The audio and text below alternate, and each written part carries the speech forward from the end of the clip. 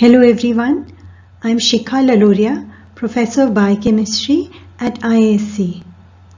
Welcome to this lecture which is the third in the series of my lectures on DNA replication. This lecture is mainly about eukaryotic DNA replication. But first I'd like to review what we know about DNA replication in general and also in the prokaryote, the E. coli bacterium. Uh, new DNA molecules are produced by copying of template DNA strands. Uh, you all know that DNA replication is semi-conservative. The newly synthesizing DNA chains grow in the 5' to 3' direction by addition of new nucleotides at the 3' end. An RNA primer is formed by a primase enzyme. RNA polymerase can initiate synthesis by joining two ribonucleotides, but DNA polymerase uh, can't do this. The enzyme DNA polymerase uses dNTPs and substrates and it adds a complementary nucleotide to the 3' hydroxyl of the deoxyribose of a primer paired with the template DNA strand forming a phosphodiester bond and uh, also releases a pyrophosphate in this process. Replication usually starts at an origin or initiator sequence and progresses bidirectionally. A replication bubble is formed at the site of initiation and the two oppositely oriented replication forks progress away from each other. In E. coli, the replication origin of E. coli ORI-C binds an initiator protein DNA-A that causes melting of the AT-rich region nearby. A DNA helicase enzyme, DNA-B, unwinds the duplex DNA. A DNA primase associates with the helicase and an RNA primer is formed by the DNA primase enzyme. The DNA polymerase III holoenzyme synthesizes DNA by adding new nucleotides at the 3' end of the primer and DNA synthesis occurs in the 5' to 3' direction. At the replication fork, the DNA Pol III holoenzyme synthesizes DNA by adding new nucleotides at the 3' end of the primer. And due to the anti-parallel nature of the template strands, DNA synthesis on one strand is discontinuous. This is referred to as a lagging strand and there are multiple priming steps and formation of Okazaki fragments on this strand. Replication on the other strand is continuous and it's referred to as the leading strand. Leading and lagging strands are synthesized simultaneously. Various proteins at the replication fork facilitate DNA replication, forming a complex yet coordinated replication machinery termed the replisome. Proteins important for replication include the initiator protein, the helicase, the single-stranded DNA binding proteins, primase, clamp loader and the tau protein, sliding clamps, and DNA Pol III. The clamp loader puts the sliding clamp around the primer template duplex at the primer template junction. The sliding clamp also binds to the DNA polymerase core subunit and holds it onto the DNA, enhancing its processivity. A loop is formed on the lagging strand between the DNA polymerase extending the primer and the helicase that binds the primase to initiate new primer formation. The size of this loop increases until the DNA polymerase reaches the end of the last Okazaki fragment and releases the DNA. Then a new loop is initiated and it also increases in size. And this cycle is continued till DNA synthesis is completed. And this is referred to as the trombone model of DNA replication on the lagging strand. In the end, there is enzymatic removal of the primer and this is followed by DNA synthesis to fill the gap and there is also ligation of the remaining nick by a DNA ligase. Shown here is the replisome at the replication fork and a somewhat improved version of the trombone model for coordinating replication at the lagging strand. So the steps are that there's an active helicase on the lagging strand template. Uh, the helicase is shown here. It moves in the 5' to 3' direction. Pol3 holoenzyme interacts with the helicase via the tau subunit and this interaction actually stimulates the rate of strand separation by the helicase such that DNA unwinding occurs at the same rate as the rate of replication by the DNA polymerase. So if this association between the helicase and the DNA pol holoenzyme is not there, the unwinding slows down by about tenfold and the polymerase can replicate faster than the helicase can unwind and thus in such a situation the DNA polymerase can catch up with the helicase forming the replisome. The helicase enzyme extrudes a single-stranded DNA loop and uh, single-stranded DNA binding proteins bind to the single-stranded DNA to prevent the self-annealing. They are shown here in pink. Periodically, there is a primase which associates with the helicase and this synthesizes a primer on the lagging strand template. This interaction between the primase and the helicase is weak, but it actually stimulates the primase function by a thousandfold. The sliding clamp loader, uh, which is shown here, it recognizes this primer template junction and it assembles a sliding clamp onto uh, the primer uh, which has been formed here. The unengaged second lagging strand DNA polymerase recognizes the loaded sliding clamp at the junction and then it goes ahead and synthesizes a new Okazaki fragment. So um, now that's shown in this position, the Okazaki fragment has been synthesized and you can note that the lagging strand DNA is folded to bring this lagging strand polymerase into this complex with the leading strand polymerase molecule and also uh, it is also close to the 3 prime end of the completed Okazaki fragment and also close to the start of the next Okazaki fragment. Since the lagging strand polymerase is in the complex with other replication proteins, uh, in the form of the DNA polymerase holoenzyme, it can be reused to make uh, successive Okazaki fragments, alternating with the third polymerase core shown here as unengaged.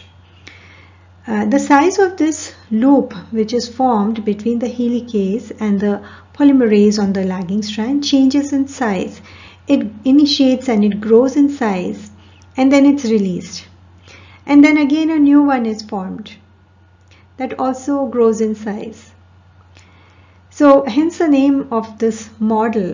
Uh, as you may know, a trombone is a trumpet-like instrument having a sliding mechanism that varies the length of the air columns in the instrument to change the pitch repeatedly.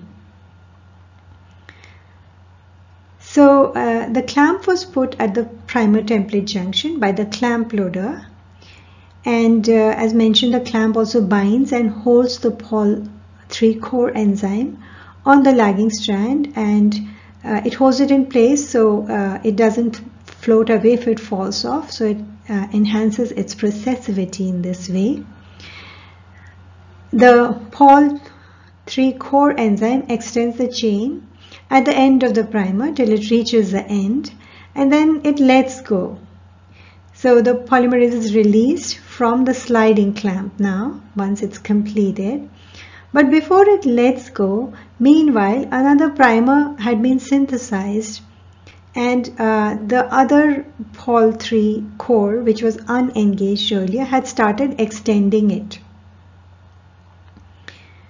So uh, now this one becomes unengaged from the DNA strand and lets go. And then this process continues until the DNA replication is completed. In this animation by Drew Berry and Etsuko Uno, we can see these steps of DNA replication in quick succession, especially the repeated expansion of the loop on the lagging strand that resulted in naming of this mechanism as a trombone model the helicase is shown in bright blue. Unwinding the double-stranded DNA at the left side and the leading strand is synthesizing continuously and it can be seen uh, at the bottom whereas the lagging strand is shown at the top giving off the loop every time. The grayish-green primase uh, arrives and it binds to the helicase and it forms the primer which is uh, denoted in yellow color. There that's the primase and the primer. The primer template junction is recognized by the clamp loader which is shown in lavender shade and uh, it loads a sliding clamp which is a green ring around the primer template junction. The lagging strand Pol3 core enzyme uh, which is shown in purple, it binds and it initiates the synthesis of the Okazaki fragment. Now uh, note that the loop increases in size with the progress of the lagging strand replication. When the polymerase reaches the end of the earlier fragment, it lets go and uh, then it becomes available to reinitiate at another primer template junction. The clamp uh, prevents the DNA polymerase from falling off and floating off uh, while it is uh, synthesizing the DNA and hence it enhances the processivity of the polymerase. In this model, you can see only two polymerase molecules are shown, not three. That is, there is only one for the lagging strand, not two as I explained, probably because this animation uh, was made at a time and it was not known that there are in fact three polymerase molecules in the DNA Pol3 holoenzyme.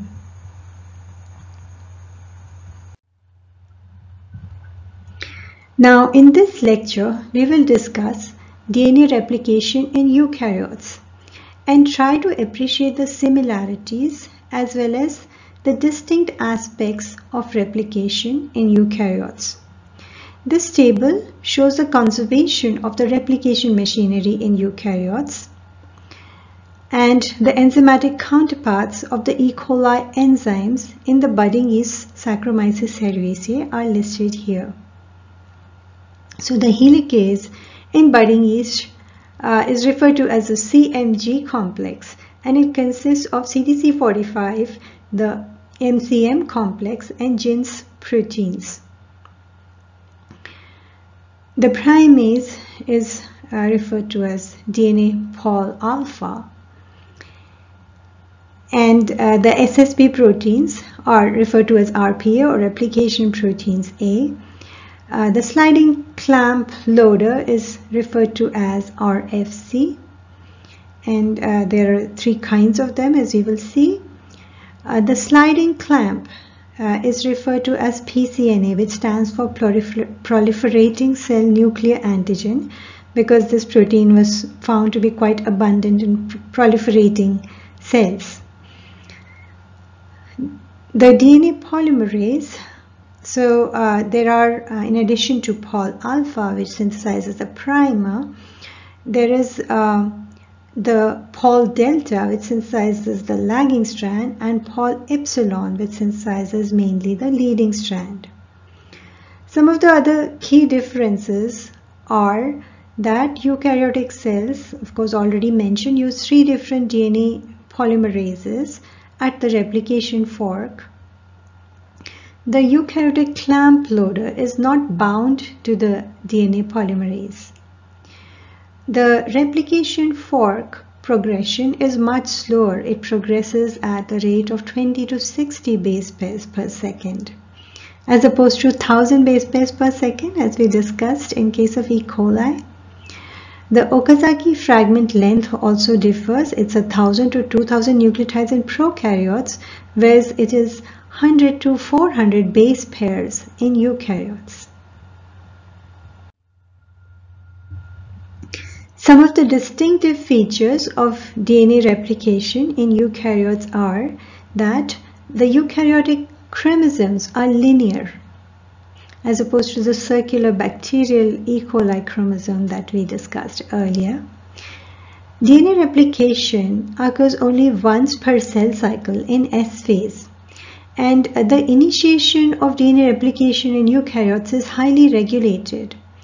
So helicase loading and activation are temporally segregated in different phases of the cell cycle.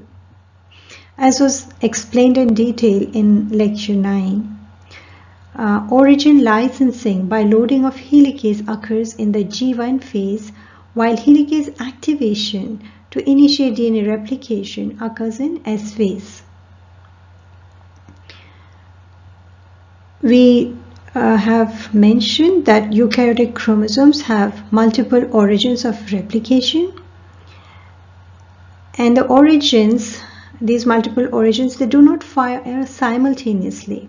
Some of them fire early while others fire late in the S phase.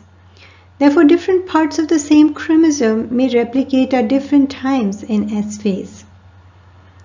There's a large multi-subunit complex termed ORC, the origin recognition complex, that binds to origins at all times in the cell cycle in eukaryotes. Chromosomal DNA is bound to nucleosomes and along with DNA replication, new nucleosomes have to be assembled behind the replication fork. The chromosome ends of these linear chromosomes have protective structures. They have repetitive sequences and are associated with the enzyme telomerase that replicates the ends of chromosomes.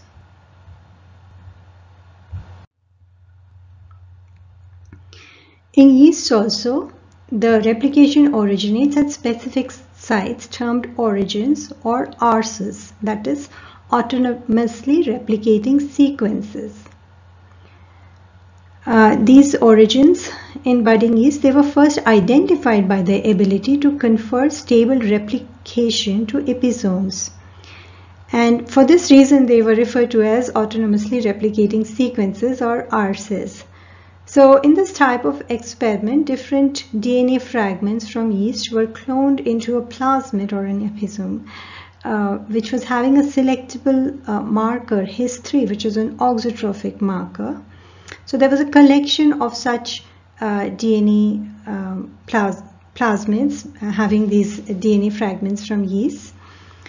And uh, they were transfected into HIS3 auxotroph yeast strains and then plated on histidine omission selective plates to select for this uh, marker HIS3 on the plasmid. And uh, they looked for colony formation. And it was found that the vector alone, that is without any insert or inserts which uh, did not have origin-like activity formed very few colonies. Whereas there were certain DNA fragments that when they were inserted, there was a high frequency of transformants. And then when these uh, colonies were analyzed, it was found that in this case where you got high, uh, you got rare transformants, uh, they did have the His marker, of course, but the DNA uh, had been integrated in the chromosome, whereas in this case, they were autonomously replicating. That is, they had replicating plasmid DNA, the DNA which uh, entered these cells was able to replicate on its own. And then uh, the insert sequences were analyzed and they were found to have these sequences which have the capability of transferring the ability to replicate onto a plasmid.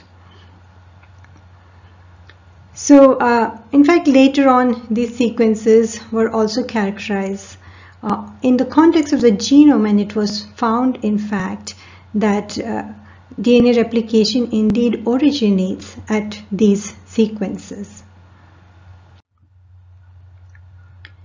Uh, the yeast ARS element, it has got a conserved 11 base pair ARS consensus sequence or ACS. And it's got three additional elements B1, B2 and B3. B3 is not mentioned here or shown here. And uh, these are important for origin activity.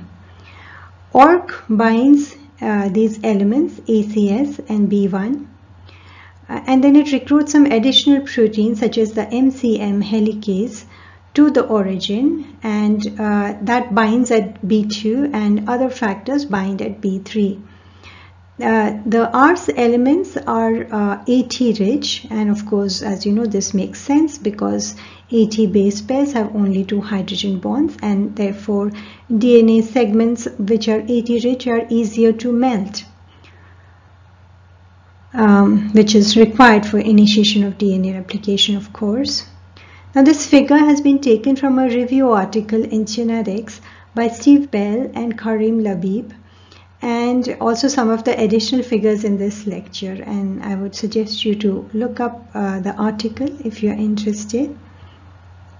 Some of the additional interesting points about ARSs are that some of these uh, elements were shown to act as uh, the replicators in their chromosomal locations by two-dimensional gel electrophoresis by Brewer and Fangman, who had developed that technique to actually map uh, a site of replication initiation on a chromosome.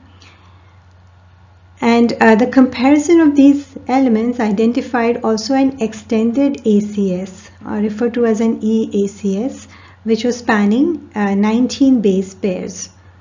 Uh, ORC binds this DNA in vitro and also in vivo it leaves an in vivo footprint on this DNA which is regulated during the cell cycle.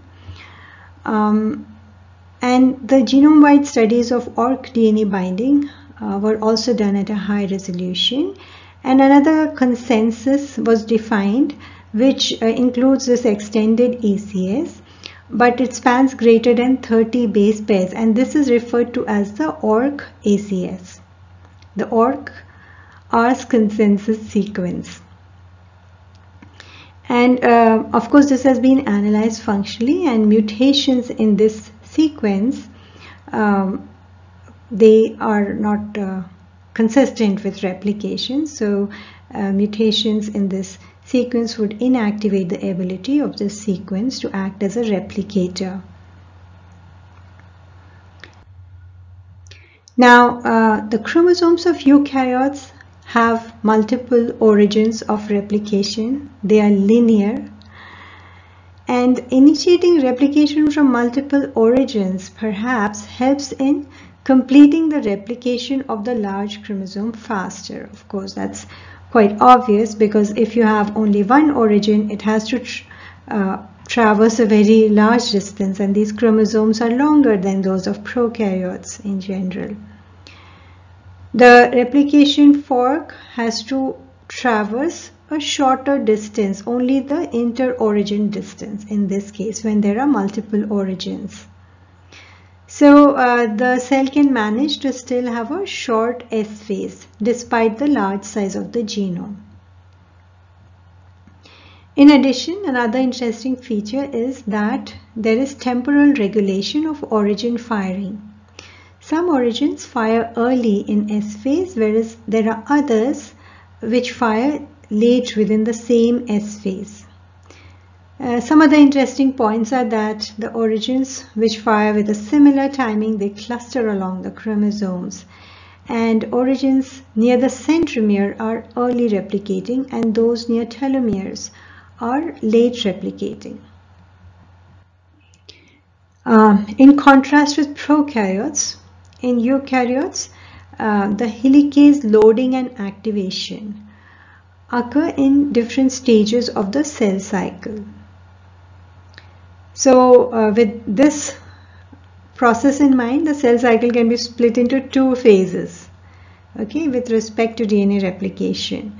So helicase loading only occurs in the G1 phase when the cyclin dependent kinase levels are low and S-CDK is activated by phosphorylation of SIC1, a CKI inhibitor by the G1 CDK and then its SCF E3 ligase mediated ubiquitination and degradation occurs and this results in activation of the SCDK that then triggers the S phase transition. The increased levels of the S phase CDK uh, in S and also high CDK levels in G2 and M also they prevent helicase reloading through multiple mechanisms which we have discussed in detail. So uh, the enhanced CDK levels are required to activate the assembly of the CMG, the helicase complex and the uh, helicase activation ensuring that uh, there's no helicases activated during G1.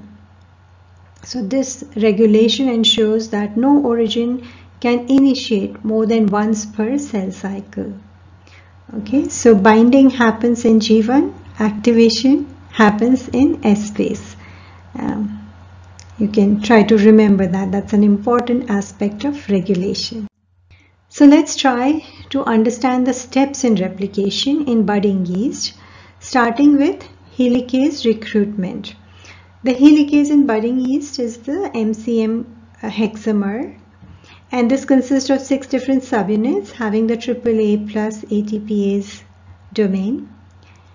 And uh, they are not identical. Each subunit is a different protein and they form a ring with a hole in the middle. ORC binds at origins. We've already discussed this a few times. And this initial ORC CDC6 complex also is thought to form a ring-like complex of again AAA plus related subunits and they encircle the origin DNA. Uh, this complex may then recruit uh, one MCM uh, CDT1 complex to the adjacent DNA uh, which is shown here to form what is referred to as the OCCM complex. And course in the end there is a double hexamer of the MCM hexamer is assembled in a head-to-head -head orientation on this DNA and the mechanism for this is still unclear how it happens that two of them end up there but indeed uh, they are found to be bound there. So uh, it's thought that either the MCM complex itself recruits another MCM complex or maybe uh, it could happen that another ORC binds and then recruits the second MCM hexamer. So the mechanism, mechanism of this is not exactly clear right now. Following recruitment of the helicase and origin licensing in NS phase, the activation of the helicase occurs by the SCDK and the DDK activation involves the remodeling of this MCM complex double hexamer and the bound origin DNA. So initially this double hexamer encircles the double-stranded origin uh, DNA. But the active helicase, uh, which is known as a CMG complex, has only one copy of this complex and it encircles single-stranded DNA. So for this transition, there have to be a number of steps. There should be dissolution of the interactions between these two hexamers and there has to be strand separation at the origin and there has to be opening of each of the MCM rings and uh, extrusion of the opposite single-stranded DNA from the two MCM complexes and then the ring has to close around the uh, single-stranded DNA. And so the details of this process are not very well understood as of now. Because this is a very complex process and there are also several additional factors uh, which are required for helicase activation. For example, SLD3, SLD2 and this protein DBP11, DPB11 that are uh, required but they are not part of the final replisome. Um, here's also a model for the mechanism of the initial origin DNA melting by the MCM complex, the double hexamer. So these helicases, they translocate double-stranded DNA towards itself and they cause the melting of the AT-rich origin DNA. So in eukaryotes, interestingly, there are three multi-subunit DNA polymerases which are essential for replication and they have been studied in budding yeast in quite some detail. These are Pol alpha, Pol delta and Pol epsilon. Each of them has a distinct role at the replication forks. So you can think of it as a sort of division of labor among these uh, three DNA polymerases at the fork. Only Pol alpha can begin the new DNA chains because it's got a heterodimeric primase subunits that synthesize 8 to 10 nucleotide RNA primers. And uh, it also has a Pol1 DNA polymerase subunit which can then extend that same primer to about 10 or 15 nucleotides. And then um, this enzyme though it has got limited processivity and it also has uh, deficiency in proofreading. So uh, it can make frequent errors and therefore it's not suitable for uh, the replication elongation steps. Uh, both Pol epsilon and delta are highly processive enzymes and they also have a proofreading exonuclease activity that reduces the rate of errors during the process of replication Pol epsilon is mainly responsible for extending the leading strand at the replication fork, whereas Pol delta completes the synthesis of each Okazaki fragment on the lagging strand that had been started by Pol alpha. Also in budding yeast, there are multiple sliding clamp loaders, which are referred to as RFCs as I mentioned. So after Pol alpha detaches from the template, following the synthesis of an RNA DNA primer, the clamp loader, uh, which has RFC1, RFC1 RFC can effectively compete for access to the uh, 3 prime end and that's shown over here. And uh, so the 3' prime end of the primer now can, can be bound by this RFC which also brings along the clamp. And uh, the clamp in this case is referred to as PCNA so ultimately uh, there is loading of PCNA around the double-stranded DNA. Now this loading of the clamp leads to recruitment of Pol delta. So now Pol delta comes and it's attached to the clamp which then extends the new Okazaki fragment. So this is going on on the lagging strand. Another RFC, the CTF18 containing RFC, associates with Pol epsilon and this is thought to contribute to the loading of PCNA onto the leading strand side of the fork. And uh, finally, another RFC which has uh, ELG1 or ELG1, I shall refer to it as ELG1 RFC, is also recruited to PCNA. Now this is a bit different. This recruitment is helped by SUMOylation and uh, after ligation of the Okazaki fragments, this results actually in the removal of PCNA uh, from the replicated DNA. Shown here is the structure of the budding yeast replicative Pol delta, which is complex with the primer template and the PCNA clamp. And the structure was reduced by electron microscopy. This is a 3.2 angstrom uh, cryo-EM structure uh, deduced by Zheng et al. Of the budding yeast complex. So uh, Pol delta is in a complex with primed DNA. Uh, the template DNA primer is shown here in green color and uh, the pCNA clamp is uh, because it's multi-subunit is shown as this multi-color ring or disc-like structure. Now this model reported in this study uh, showed some very interesting features.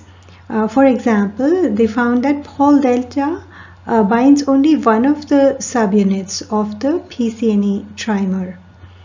And uh, this interaction though uh, it's only with one subunit but it's extensive and it holds the DNA such that uh, the 2 nanometer wide DNA it threads uh, through the center of the 3 nanometer channel of the clamp without making direct contact with the protein. So thus there's a water mediated clamp DNA interface which enables the pCNA clamp to water skate as per the author's terminology uh, along the duplex with a minimum drag. So to summarize, chromosomes of eukaryotes have multiple origins and they are linear. There are three essential DNA polymerases showing division of labor. The uh, DNA pol alpha, which is important for primer synthesis, and DNA pol delta and epsilon which are important for lagging strand and leading strand DNA synthesis. And also uh, as the process continues, um, in the end the primers have to be removed and there are enzymes FEN1 and DNA2. Uh, they are important for cleavage of the displaced RNA primer flap. So this is formed because Pol delta displaces the primer as it synthesizes the DNA and uh, forms this flap-like structure and this is then cleaved by the flap-specific endonucleases. The gap which is formed by this cleavage is then later sealed by uh, the DNA ligase. In the next part of this lecture, we'll deal with some of these additional steps and also other aspects of replication in eukaryotes and we'll also talk about the completion of DNA replication.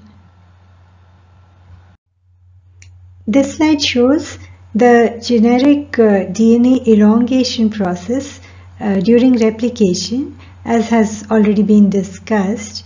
Uh, note the additional enzyme topoisomerase which is shown in front of the fork. These enzymes, they help in uh, relieving torsional stress which is created by unwinding of the DNA double helix by the helicase enzyme at a progressing replication fork. Especially uh, when free rotation around the ends is not possible. Uh, for example, in case of long chromosomes, it becomes difficult to achieve this type of rotation and the role of these enzymes uh, becomes very important. When helicase unwinds the DNA, then torsional stress builds up and this can actually be relieved by the rotation of the DNA ahead of the fork. However, when this can't happen, for example, in case of the long chromosomes or here it is shown that the DNA itself is tethered to a support and therefore uh, it cannot uh, undergo that rotation then uh, when you have unwinding of the DNA uh, during DNA replication in the absence of such free rotation possible ahead of the fork to relieve the torsional stress this results in the DNA in front of the fork becoming overwound and then it can become supercoiled as is shown here these are the supercoiled regions. And uh, after a certain point, the fork progression itself uh, would be hindered when uh, there's a buildup of torsional stress beyond a certain level, then it cannot really progress forward. So topoisomerases are enzymes that have got a reversible nuclease activity and uh, they help in relieving such torsional stress. The topoisomerases, they can attach covalently uh, to a phosphate in the DNA chain backbone and uh, they can bring about strand break. They can break a phosphodiester bond. And then the bond is reformed as this uh, protein or the enzyme is released. For example, here is shown the action of uh, topoisomerase. So topoisomerase 1 can create a transient single-stranded DNA break. And then the DNA on either side of the nick can actually uh, rotate freely around this phosphodiester bond on the opposite strand of the, the strand, the point opposite the break. The tension in the helix will drive this rotation in the direction that relieves the tension. And then after this uh, rotation, then uh, the gap is uh, rapidly resealed uh, using the energy that was released by its earlier cleavage of this bond and was stored in the top 1 DNA phosphate bond.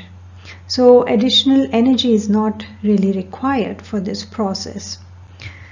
Another enzyme, topoisomerase 2, can bind and form covalent linkage to two strands of the DNA helix that cross each other simultaneously and uh, it creates a double strand break. ATP hydrolysis is used uh, to break one DNA strand and uh, it creates a DNA gate. And now the second helix which is unbroken can pass through this gate. After this the double strand break is sealed and the topoisomerase is released and the two strands can be separated. So here is the example shown for two interlocked circles. But this can also occur in the supercoiled regions produced in front of the replication fork. So uh, topoisomerase 2 can relieve the tension in front of the replication fork during DNA replication uh, at crossovers in supercoils, the passage of these strands, they, uh, again it occurs in the direction that reduces supercoiling. Topoisomerase 2 is also important for untangling chromosomes during DNA replication to help in their proper separation later on.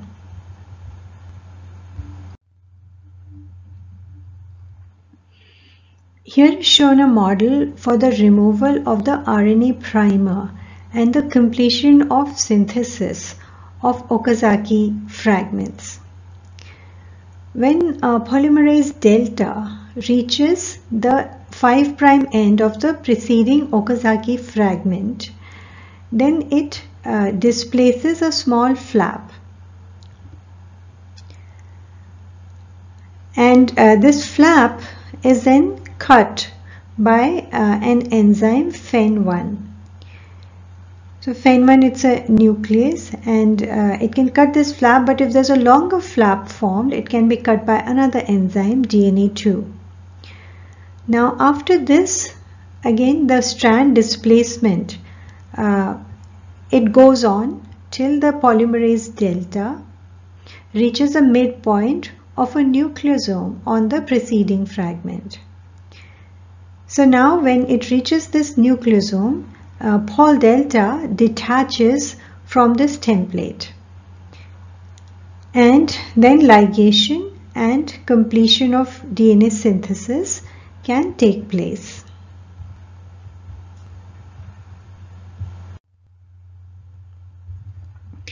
In eukaryotes during DNA replication, the chromatin organization also has to be maintained uh, DNA unwinding by the CMG helicase displaces the parental histones.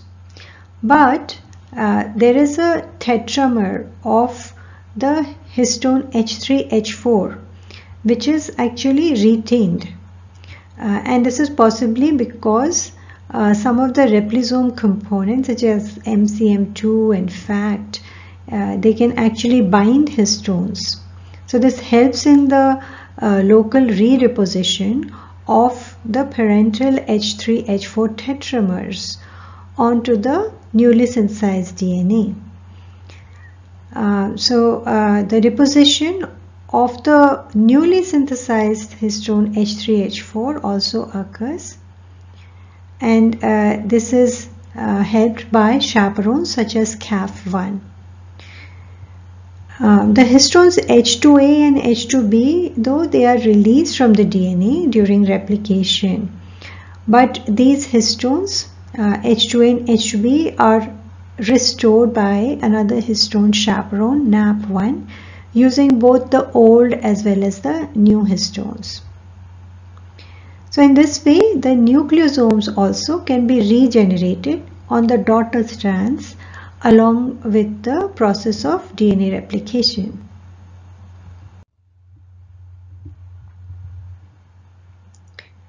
Now the termination of replication occurs at converging replication forks.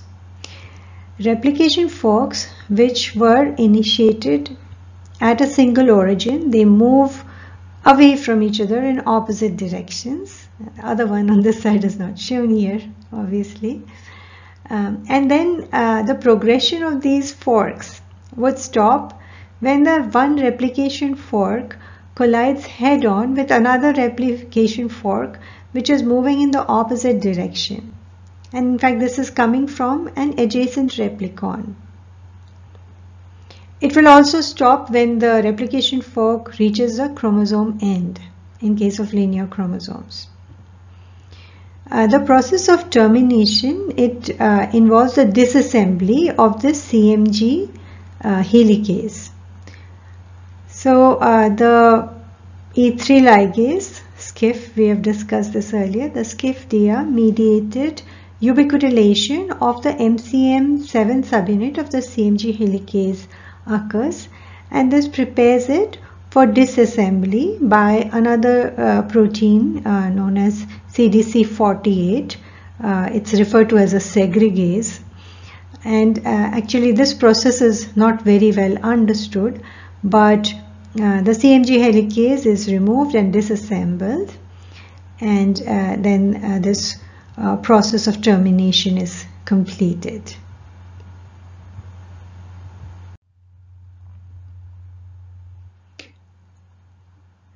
Now, um, as replication is going on, there could be replication defects. And when these defects occur, then they uh, tend to accumulate or expose longer uh, length single-stranded DNA at the replication forks. And uh, there's accumulation of the single-strand binding protein RPA and this structure recruits the MEC1 and DDC2. MEC1 as you know is a checkpoint kinase to initiate the S-phase checkpoint pathway.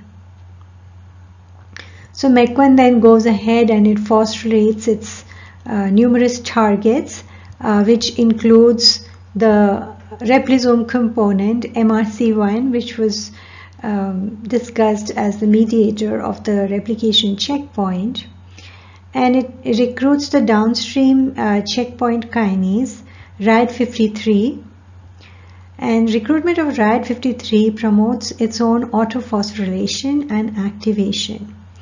Now these two activated uh, enzymes MEC1 and RAD53 bring out a number of responses in the presence of these stalled uh, replication forks. And these include uh, block to mitosis in the presence of replication defects or uh, stimulation of the ribonucleotide reductase activity, uh, maintenance of transcription factors uh, which are expressed during S phase, and uh, so these factors, they are expressed during S phase and they continue to be expressed when this pathway is activated. and uh, inhibition of the replication initiation factors such as SLD3 and DBF4 at replication origins so that uh, new forks are not uh, created until the source of this original problem in replication has been uh, removed or rectified. And also they bring about the phosphorylation of histone H2A uh, so that uh, they can recruit chromatin remodeling enzymes near the replication fork. Post-translational modifications of pCNA also help in preserving genomic integrity. Uh, the sliding clamp pCNA is sumoylated on lysine uh, 164 uh, by the sumo E3 ligase Siz1 along with the UBC9 sumo conjugating E2 enzyme. Sumoylated pCNA uh, recruits SRS2 translocase. Uh, this is a factor that displaces recombination factors and hence it reduces the illicit recombination events that might uh, interfere with the progression of DNA replication forks. Now, accumulation of the RPA-coated single-stranded DNA at defective replication forks also has uh, another effect. It can recruit the E3 ubiquitin ligase RAD18. RAD18 helps in the monoubiquitination of lysine 164 of pCNA by RAD6. And this leads to the recruitment of uh, translesion DNA polymerases. Uh, unlike the polymerase epsilon or delta, these translesion polymerases are able to incorporate DNTP's opposite damage bases also. And uh, this allows a replication machinery to bypass the damaged base, which can potentially be repaired post-replicatively. Alternatively, the monoubiquitinated pCNA can be modified by RAD5 in association with the E2 complex MMS2 UBC13 producing a K63 linked ubiquitin chain at the lysine 164 of pCNA and this activates an error-free uh, DNA repair pathway.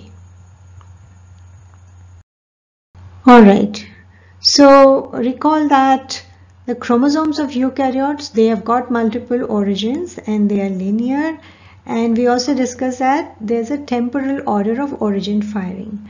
What this means is that some origins fire early whereas others fire late uh, within the same S phase. And uh, this can be useful because if a replication fork such as the one shown here gets blocked due to damage and then uh, it could not be repaired in a timely fashion and the replication ceases. So there is an incomplete replication here. Um, it could later be rescued by a fork which is coming from a late firing origin. And this unreplicated region could be replicated later in the same S phase. And this possibility does not arise if all the origins had fired at the same time and the block was there and it could not get rectified and was left unreplicated. So this is a, a useful feature to ensure the complete uh, replication of the chromosomes even though some problems may arise at the replication forks. Now coming to the end, uh, the linear chromosomes, they have an end replication problem due to incomplete replication on the lagging strand. During lagging strand replication, uh, as you know, a back stitching mechanism is used uh, to form short Okazaki fragments. So this results in a problem when the fork reaches the end of the linear chromosome. Then there is no place to produce the RNA primer needed to initiate the last fragment at the end of the linear DNA molecule. After the removal of the last primer, then this region which corresponds to the final RNA primer synthesized on the lagging strand cannot be copied into DNA uh, because there's no 3' OH available, uh, 3' OH end available for the extension. If this problem is left unresolved, this end replication problem can result in loss of DNA uh, that is genetic information from the chromosome ends each time the cell divides.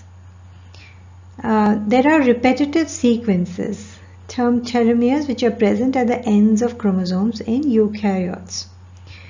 In the absence of a mechanism to address this end replication problem with successive divisions, uh, the shortening of telomeres can occur as is shown here. That is a number of telomeres, telomeric repeats will keep on shortening and at some point even the unique sequences may get exposed.